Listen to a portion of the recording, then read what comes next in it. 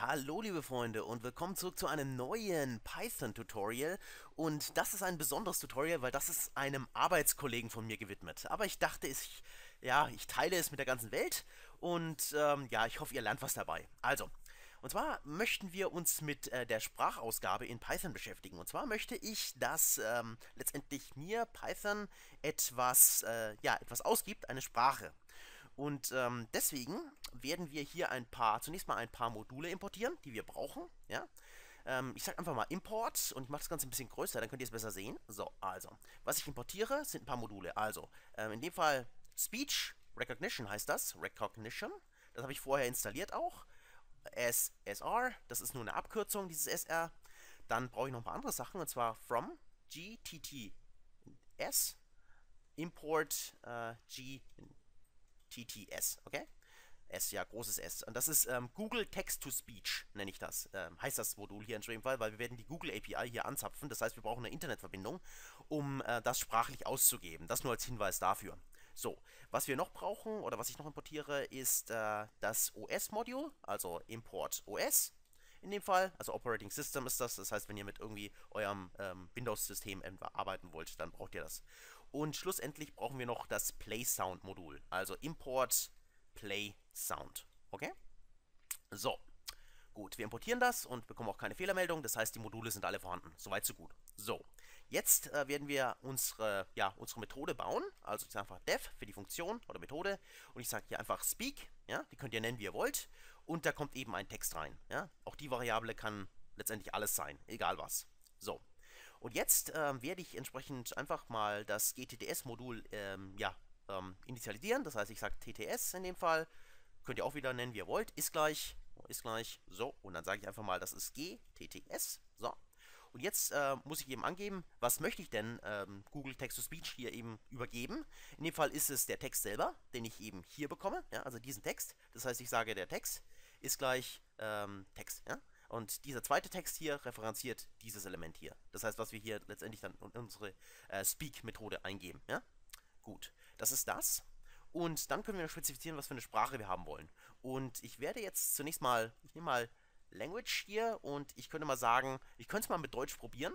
Ich sage einfach mal DE, aber ich werde es dann wahrscheinlich auf Englisch umstellen, weil das ist deutlich besser. Ähm, okay, so, das ist das. Und jetzt quasi schauen wir noch nach ob unser Pfad existiert. Weil was wir hier tun ist letztendlich, wir erstellen zunächst eine MP3-Datei. Das heißt, den Text, den wir hier reingeben, der wird in eine MP3-Datei umgewandelt über dieses Google Text-to-Speech-Modul und der wird dann entsprechend ausgegeben. Das heißt, in dem Fall, und zwar ausgegeben über PlaySound. Deswegen haben wir das hier importiert. Äh, das heißt, was ich hier mache, ist, ich teste erstmal if os.path, ja, .exists exists hier, also ob dieser Pfad existiert. Und ich nehme hier einen raw string, also nehme ich ein R davor ähm, und habe hier auch schon was vorbereitet, wobei ich hier aufpassen muss, da habe ich das R schon drin. Okay, so, kann ich das rausnehmen. So, ihr seht, das ist einfach auf meinem Desktop und ich nenne das ganz einfach Sprache MP3. Weil, wie gesagt, was wir tun ist, wir geben einen Text in dieses, in diese Modul, oder Modul, in diese Methode rein und das wird dann an, an Google geschickt und wird dann in einer MP3 gespeichert, damit PlaySound das abspielen kann. Ja? Okay, so wird das laufen. So. Okay, so, was ich mache ist, ich schaue halt, ob diese Datei schon existiert. Das mache ich deswegen, weil, ähm, wenn die schon existiert, dann kann die nicht überschrieben werden automatisch. Das heißt, ich würde einen Fehler bekommen, wenn sie schon existiert, wenn ich das Modul, ich sage wieder Modul, wenn ich die Funktion, Entschuldigung, mehrfach aufrufe. Das heißt, ich sage hier os.remove, ähm, also wenn das existiert, dann würde ich das gerne entfernen. Auch hier kann ich das wieder direkt einkopieren, quasi, die Datei. Könnte das auch referenzieren irgendwo in eine Variable und könnte die dann da reinschreiben, auch möglich, okay? So. Und ähm, dann habe ich es entfernt und jetzt sage ich quasi, dass mein Filename, Filename, ja, ist gleich. Und jetzt sage ich eben genau, das ist diese Datei hier. So. Ähm, auch hier, Filename kann wieder heißen, könnt ihr jeden Namen vergeben. Könnte auch Dateiname sein hier in dem Fall, wenn ihr das wollt. Ne? Okay. Und jetzt sage ich eben noch TTS, was wir hier unser quasi instanziertes ähm, ja, Modul hier ist, das GTTS, also Google Text to Speech. So, TTS ist gleich, oh, Entschuldigung, TTS.save. So wollte ich es machen. Und jetzt sagen wir FileName, FileName. Das heißt, in dem Fall, ich speichere quasi, was mir Google zurückgibt, in dem FileName. Und FileName ist ja quasi diese Datei hier. Das heißt, in der MP3-Datei speichere ich letztendlich ähm, ja, den Text ab. So. Okay, FileName. So. Und am Schluss ähm, möchte ich das Ganze gerne noch ausgeben. Das ich sage einfach PlaySound.PlaySound. Sound. So, und dann sage ich eben FileName. So. Okay. So, das Ganze Führe ich mal aus. Okay, jetzt so gut. Und jetzt werde ich das Ganze mal, ja, ähm, callen, sage ich mal. Also ich sage jetzt einfach mal speak, also die Methode selber.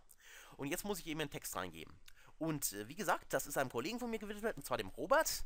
Ähm, das heißt, in dem Fall, gestern habe ich leider nicht die Zeit gefunden, an der Sieger Academy, das ist unsere interne Akademie, hier äh, an der Veranstaltung teilzunehmen. Und dafür möchte ich mich nochmal ganz herzlich entschuldigen, Robert, ja, an der Stelle. Also sage ich jetzt hier einfach mal Hallo Robert. Ihr seht ja, ich habe am Anfang das Ganze in Deutsch gemacht, also kann ich jetzt hier zunächst mal in Deutsch testen. Also Hallo Robert hier. Und dann sage ich Punkt und dann Danke für die Siegerakademie. Okay? So sage ich das. So, okay.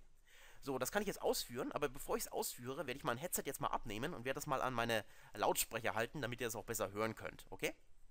Kurz Moment. So. Hallo Robert, danke für die Siegerakademie. So, ich hoffe, ihr konntet das hören. Ähm, jetzt werden wir das Ganze nochmal in Englisch testen, weil ich finde, in Deutsch klingt das irgendwie ein bisschen, äh, ja, nicht so gut. Äh? Deswegen werde ich das Ganze jetzt umbauen und hier entsprechend EN einfach einschreiben. EN. Dann das Ganze nochmal ausführen. So, die neue Speak-Methode ist jetzt in Englisch. Und jetzt werde ich das hier auch nochmal ausführen und sage einfach Speak hier. Und jetzt sage ich nochmal zum Beispiel Hello Robert.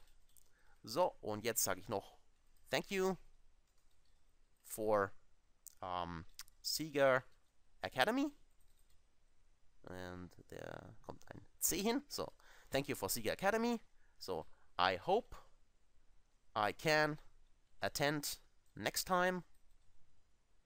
And I am sorry for missing the last one. Okay? So, jetzt mal in Englisch. Und auch jetzt wieder, kurz Moment, ich halte meinen, ja, meinen Kopfhörer jetzt wieder, mein Mikrofon wieder an meine Soundboxen. Hello, Robert. Thank you for Sega Academy. I hope I can attend next time and I am sorry for missing the last one. So, ja. Aus meiner Sicht klang das schon ein bisschen besser. Gut, das war's für das Video. Sollte ein bisschen Spaß sein. Also, Robert, ich hoffe, du nimmst mir nicht übel, dass ich das jetzt nochmal hier ähm, ja, mit dem Web teile. Und ähm, ja, nochmal vielen Dank für die Sieger Academy. Ähm, echt eine tolle Veranstaltung. Und äh, ja, ansonsten allen anderen, die vielleicht zugeschaut haben, ich hoffe, ihr könnt das vielleicht für euch selbst nutzen. Falls ihr ein bisschen mit Python spielen wollt, dann äh, fühlt euch frei, das auch zu nutzen. Und ich wünsche euch noch ein wunderschönes Wochenende. Bis zum nächsten Mal. Macht's gut.